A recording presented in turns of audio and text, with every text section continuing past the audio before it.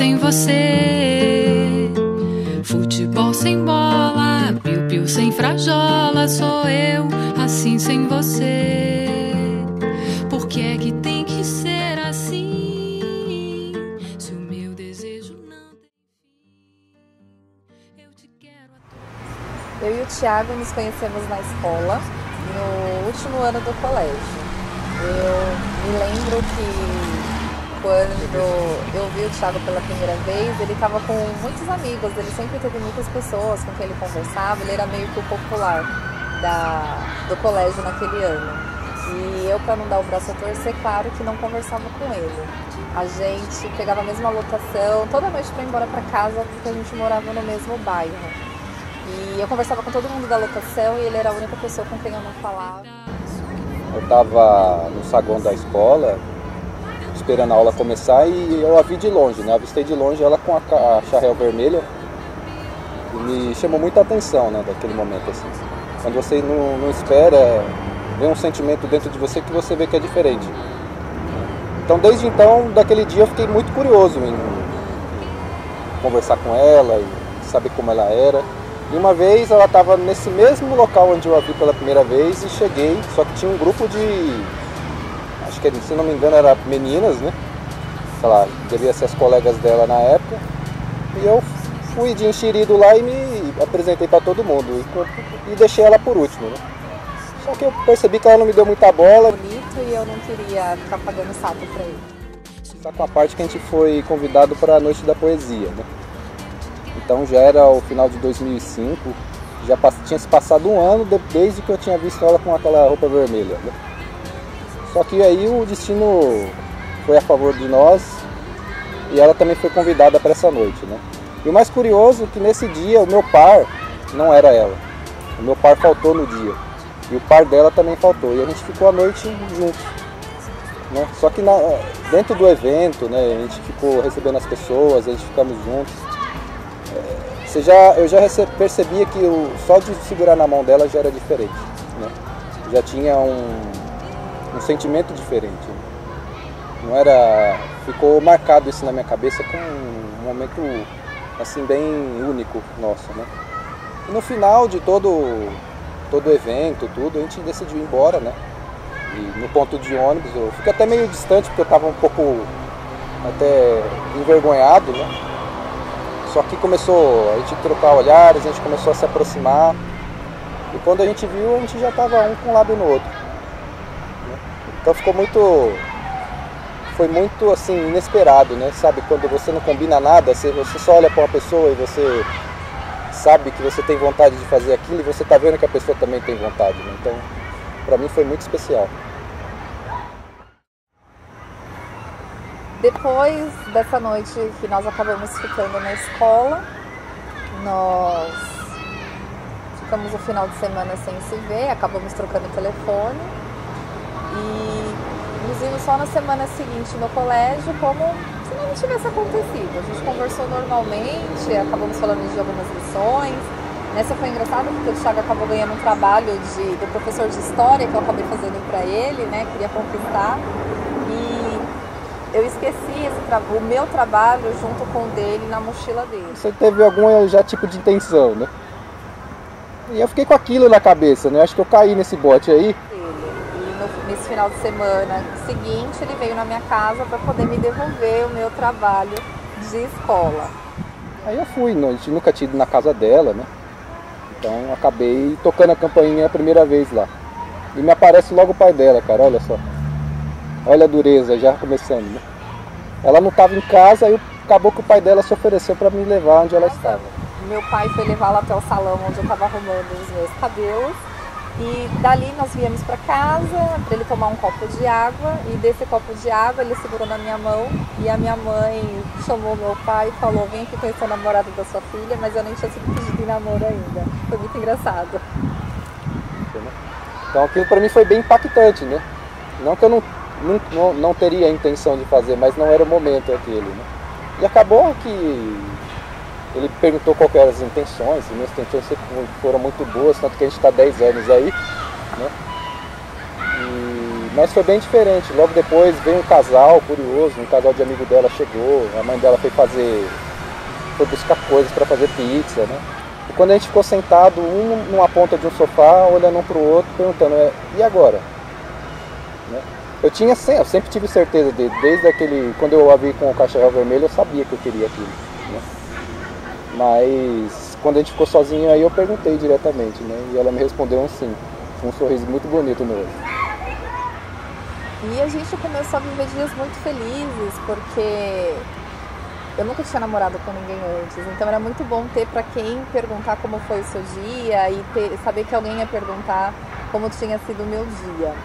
Depois de oito meses que a gente estava namorando, assim, a sintonia entre nós dois sempre foi muito forte, a gente sempre foi muito companheiro. O Thiago me trouxe aqui nesse lugar lindo, maravilhoso, para a gente passear um dia, uma noite na verdade. E o meu coração começou a ficar pesado e um nó na garganta, porque eu sentia que ele queria me dizer alguma coisa. Acabei falando a minha vontade para ela, que era para ficar com ela pro resto da vida e que eu queria ela como minha mulher, né? Então eu falei que eu queria casar com ela naquele momento.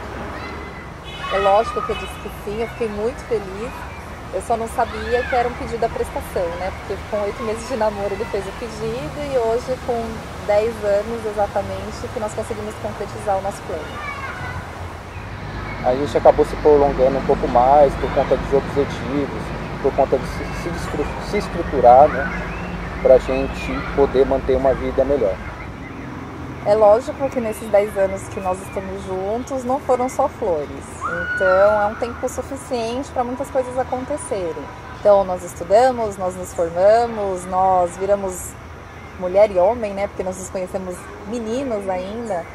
Mas um momento bem difícil que nós passamos juntos foi o momento do desemprego, né? Onde nós dois acabamos ficando em casa sem trabalho, sem dinheiro.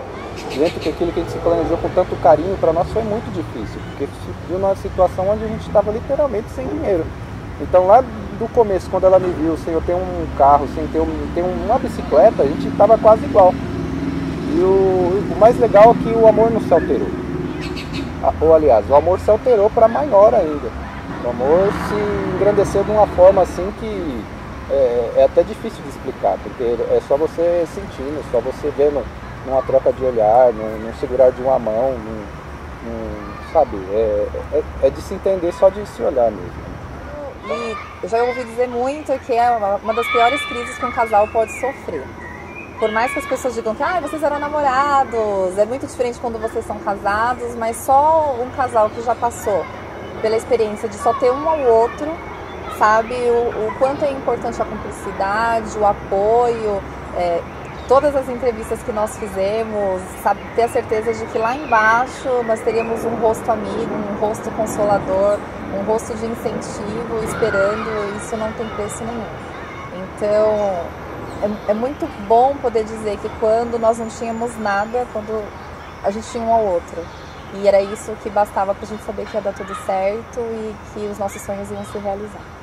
E quando deu tudo certo, foi maravilhoso. A emoção de ver o outro recebendo aquela ligação tão esperada, o sim de uma companhia que ia fazer com que os nossos sonhos se concretizassem. Eu admiro ela muito mais depois dessa, dessa situação que a gente passou.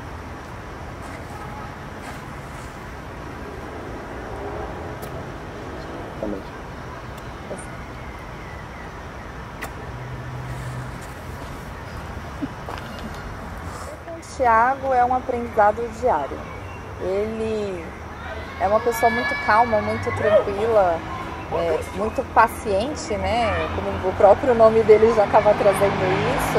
E eu aprendo muito a me conhecer melhor. Ele é uma pessoa iluminada, com muito discernimento e muito amoroso. Muito amoroso mesmo. Eu sinto muito feliz de poder ter alguém como ele do meu lado, saber que é a pessoa que vai ser o pai dos meus filhos, a pessoa com quem eu vou envelhecer junto, porque é inacreditável a paz que ele me traz, a segurança que ele me traz. E eu posso ter o pior dia do mundo, que eu sei que ele vai estar tá lá para me esperar sempre do mesmo jeito, independente do jeito que eu chegue em casa. Se eu tô feliz, ele tá lá para me receber. Se eu tô triste, ele tá lá para me receber. Se eu tô irritada, ele tá lá para me receber. Sempre com um colo muito gostoso e com a certeza de que eu sou muito amada. Então, ele é maravilhoso. Eu não tenho nem palavras para dizer o quanto o Thiago é especial. Né? Dentro do, do que eu sempre esperei de uma pessoa, de um companheiro, de uma mulher, só pode ser ela porque para mim ela é perfeita. Claro, tem seus defeitos, eu tenho meus defeitos, mas a gente se aceita. Então viver com ela é, para mim é muito seguro. Eu tenho convicção de que se eu tropeçar ela vai estar tá lá. Eu tenho convicção se eu chegar um dia em casa vou ter um sorriso para me receber. Eu tenho convicção de que se um dia qualquer dificuldade possa voltar a nos rondar, ou então qualquer tipo de dificuldade ela não vai fraquejar. Então viver com a Cíntia é, é ter força, viver com a Cíntia é ter esperança, e viver com a Cíntia é sonhar.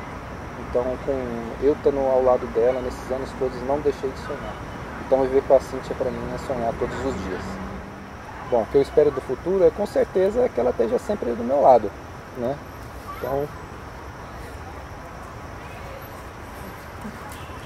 e que futuro, né? O futuro começa agora no nosso casamento, né? Então, o futuro a gente vai construir a cada dia, né? O que você acha? Eu acho que o futuro é agora e todos os dias daqui pra frente. Eu te amo. Também te amo. Pra sempre. Pra sempre.